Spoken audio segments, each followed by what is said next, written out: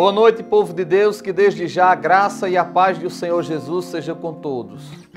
Estamos começando mais um programa Oração da Meia-Noite e eu estou aqui na qualidade de servo de Deus, crendo que através da oração de fé que vamos fazer, o poder do Senhor Jesus vai agir na sua vida e um milagre nesta noite vai acontecer para a glória do Senhor Jesus. Eu já preparei aqui o meu copo com água, você também já pode preparar o seu. Daqui a pouquinho, no momento da oração, nós vamos abençoar esta água e eu tenho certeza que ela será uma porção do poder de Deus após a oração para abençoar a sua vida ou a vida de alguém que você der desta água para esta pessoa tomar. Estamos aqui nesta fé, tenho certeza que em nome do Senhor Jesus Cristo, através da nossa oração, um milagre vai acontecer na sua vida.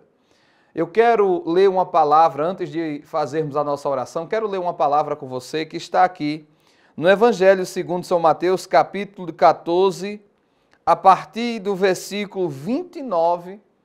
Olha o que diz aqui a palavra do nosso Deus. E ele disse: Vem. E Pedro, descendo do barco, andou sobre as águas para ir ter com Jesus. Mas sentindo o vento forte, teve medo e começando a ir para o fundo, ou seja, começando a afundar, clamou dizendo: Senhor, salva-me. E logo o Senhor Jesus, estendendo a mão, o segurou e disse-lhe: Homem de pouca fé, por que duvidastes? Eu quero chamar aqui a sua atenção nesta noite para algo muito importante que essa palavra nos ensina. Veja que Aqui a Bíblia está falando daquele episódio do Senhor Jesus, quando ele veio ao encontro dos seus discípulos andando sobre as águas. A Bíblia diz que os discípulos ficaram atemorizados, mas de repente Pedro toma uma atitude de fé e Pedro diz: Senhor, se és tu, deixa-me ter contigo. Então Pedro tomou, na verdade, uma atitude, não é? Ousada. Pedro foi ousado ao pedir para andar também sobre as águas. Mas o que me chama a atenção é que, enquanto Pedro manteve o foco no Senhor Jesus, ele andou sobre as águas. Mas quando Pedro começou a observar os ventos, pois eles eram contrários às ondas, então Pedro começou a afundar. E eu quero dizer a você que muitas vezes nós também estamos vivendo uma realidade semelhante. Muitas vezes nós também deixamos de focar naquele que tem todo o poder e autoridade para abençoar a nossa vida, para focar muitas vezes no problema, na gravidade da situação. Muitas vezes nos deixamos levar pelas palavras que ouvimos, que o problema está se agravando, que está se tornando cada vez mais difícil e às vezes essas palavras nos leva a ficar angustiados, a ficar atemorizados. Muitas vezes nós ficamos como Pedro, deixamos de, de manter o foco naquele que nos prometeu que por meio da fé tudo é possível, para manter o foco muitas vezes no problema. Então eu quero que você preste bem atenção nesta palavra e aprenda com esta palavra o seguinte: o Senhor Jesus Cristo, Ele é quem vai agir em teu favor. Por isso, não importa a gravidade do teu problema, se o teu problema se agravou, se a situação ficou difícil, se você percebe que a situação tem piorado, tem se agravado, continue focando no Senhor Jesus Cristo. Continue acreditando na sua oração. Continue acreditando que o Senhor Jesus está lhe ouvindo, sim. Continue acreditando que o Senhor Jesus não te abandonou, Ele está contigo. Você vai vencer esta luta. Muitas pessoas na Bíblia viram o quadro se agravar, mas manteram a fé e deu certo. O Senhor Jesus lhe deu vitória. Entre muitas situações que a Bíblia relata, eu posso citar agora a filha de Jairo. Quando o Senhor Jesus disse a Jário que iria à casa dele abençoar sua filha, orar por ela, dar saúde a ela, chegou um certo momento que as pessoas da casa de Jairo chegaram a ele e disseram: Jairo, não incomodes mais o mestre, porque a menina morreu. Já não há mais nada que se possa fazer. E o Senhor Jesus, ao observar toda aquela situação, ele chega para Jairo e diz: Não temas, creia somente. E isso deu força a Jairo, isso animou a Jairo, isso manteve a, a, fé de Jairo. Com certeza, essas palavras do Senhor Jesus avivou a fé de Jairo. Então, eu quero dizer também para você nesta noite: não temas. Se o seu problema se agravou, o Senhor Jesus continua com o mesmo poder e autoridade de mudar a sua história. Quem vai agir em seu favor é o Senhor Jesus. Ele prometeu que através da sua oração feita no nome dele, ele lhe ouve e lhe abençoa. A Bíblia diz que tudo que pedirmos no nome do Senhor Jesus, ele vai fazer. Ele tem poder para fazer. Então eu creio que o Senhor Jesus nesta noite vai abençoar. Então eu quero que neste momento você lance fora a dúvida, lance fora o medo agora e creia tão somente nesta palavra: tua vitória vai acontecer, teu milagre vai se tornar realidade, tua oração não será em vão. Sua atitude de fé de aguardar por este momento, aguardar esta oração da meia-noite, não é em vão, não. Através da nossa oração, o poder do nosso Deus, olha, escute bem, o poder sobrenatural do nosso Deus, ele vai agir em seu favor. E não importa qual seja a área de sua vida que você esteja necessitando de um milagre. De repente, você pode até mesmo dizer para mim assim: olha, pastor, o milagre não é para mim, é para alguém que está em um estado terminal no leito de hospital. Eu quero dizer para você que o Senhor Jesus Cristo, ele é o Senhor da vida. Ele tem poder sobre a morte. Eu quero dizer para você que o Senhor Jesus, ele já ressuscitou pessoas que já estava quatro dias que ela tinha morrido e já cheirava mal. Imagine essa pessoa que está em um estado terminal de repente, no leito de um hospital. Para o Senhor Jesus isso não é nada, ele pode fazer um milagre acontecer. Mas você tem que se animar, não se desespere. Veja o que o Senhor Jesus disse a Pedro: Homem de pouca fé, por que você duvidou? Você sabe por quê? Porque a dúvida neutraliza a fé. A Bíblia diz que a dúvida faz com que o ser humano seja semelhante às ondas do mar, que uma hora vai, outra hora vem e não se mantém, e não se estabiliza. Assim é a dúvida. E o diabo, sabendo disso, com certeza, ele lança pensamentos, ele lança sentimento de tristeza para você duvidar, se angustiar. Muitas vezes o diabo ele age querendo fazer você tirar o foco do seu milagre, tirar o foco de que o seu Jesus vai lhe abençoar, para fazer você olhar para a situação. Às vezes até pessoas chegam para dizer, é, realmente, irmão, é difícil, é complicado, realmente aí é só Deus para você se desesperar. Mas não importa quais sejam as palavras que disseram para você.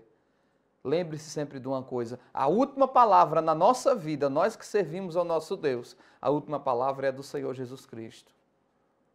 Então, seu caso não está perdido, não. Ainda existe uma esperança para você.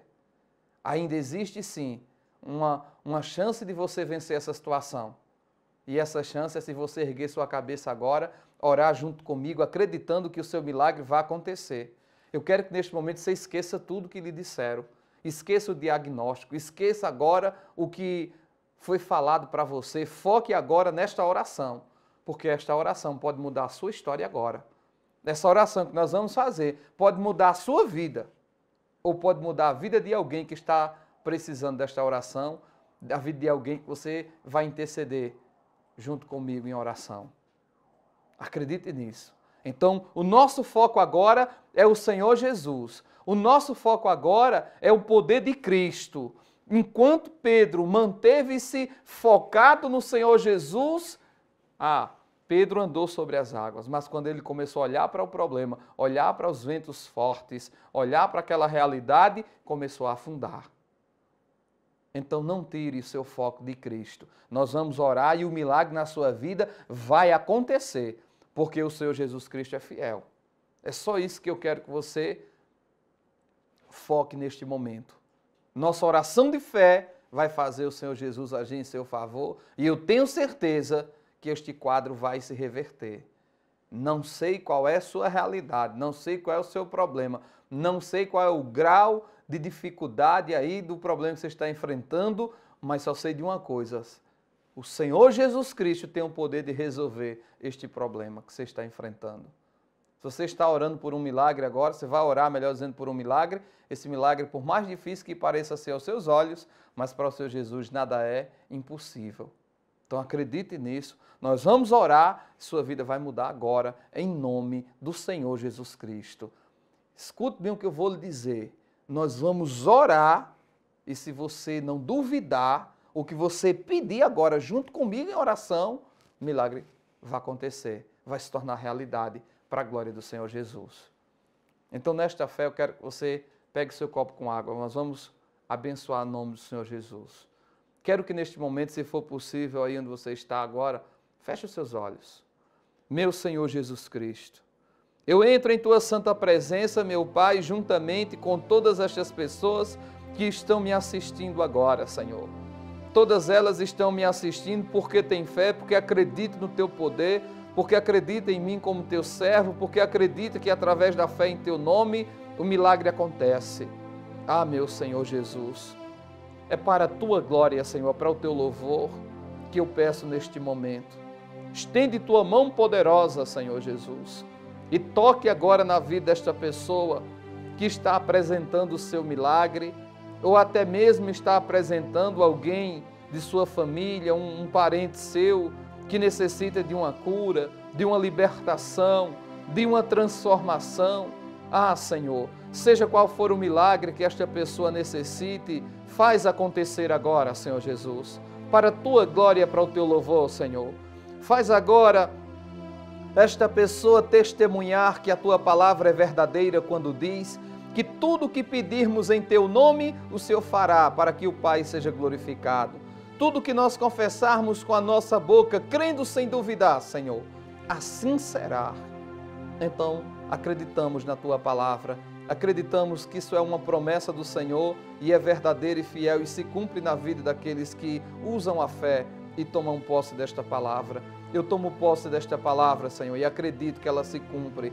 Eu estou pedindo um milagre agora em teu nome, que em nome do Senhor Jesus Cristo, esta pessoa que me assiste agora seja abençoado, receba o seu milagre, seja em qual for a área de sua vida.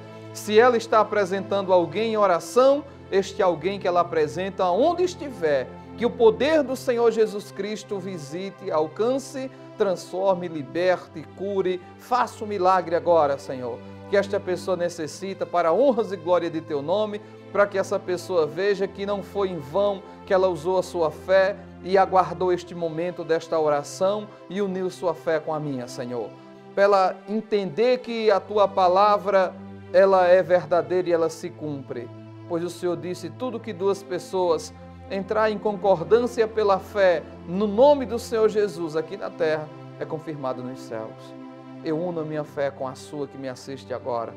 E eu tenho certeza que o Senhor Jesus está concordando com a nossa atitude de fé. Eu tenho certeza que o Senhor Jesus Cristo está confirmando a nossa fé neste momento. E o seu milagre, ele está acontecendo agora, neste momento. O mal que te atormentava, o mal que tirava a tua paz, está sendo desfeito agora. Em nome do Senhor Jesus Cristo. Sinta o poder do Senhor Jesus na sua vida agora. Sinta a virtude do Senhor Jesus te envolver neste momento. Sinta agora em seu coração a certeza que já deu tudo certo para a glória do Pai, do Filho e do Espírito Santo. Pois assim eu creio, porque tenho certeza que a nossa oração não foi em vão, mas foi aceita diante do Senhor Jesus. E com certeza ele ouviu e ele está agora confirmando o milagre para a glória do nome dele. Que assim seja, para a glória do Pai, do Filho e do Espírito Santo. Senhor Jesus, esta água, que seja ela agora uma porção do teu poder. A pessoa que tomar desta água, Senhor, seja abençoada, seja curada, seja liberta, seja transformada, que o teu poder haja na vida dela, meu Pai, operando o milagre que ela precisa. A pessoa que toma tudo de fé, meu Pai, de pegar esta água de repente para usar de outra forma, talvez ela não vai tomar, mas lavar, meu Senhor Jesus, uma enfermidade que ela tem no seu corpo. Ah, Senhor, quando ela fizer isso, o milagre vai acontecer, porque o Senhor disse que pela fé tudo é possível. Então eu creio que será possível este milagre na vida desta pessoa. Assim consagra esta água, assim abençoo, em nome do Senhor Jesus, para a glória do Pai, do Filho e do Espírito Santo. Amém. Pode tomar sua água, tenha certeza que nesta água tem o poder de Deus. Você vai tomar e vai ver seu milagre acontecer em nome do Senhor Jesus.